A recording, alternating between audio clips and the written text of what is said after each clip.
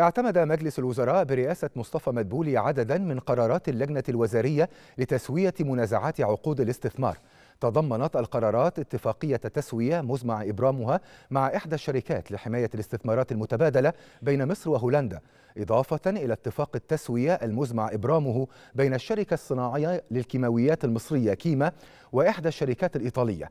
كذلك تضمنت القرارات اتفاقيات التسوية المزمع إبرامها بشأن المنازعات الناشئة عن مشروع تطوير منطقة حكر أبو دومة يأتي ذلك في ضوء التوجه نحو إنهاء تلك المنازعات والدعاوى التحكيمية بالتسويات الودية لتحقيق المزيد من الجذب للاستثمارات الأجنبية المباشرة وضخها في الاقتصاد المصري.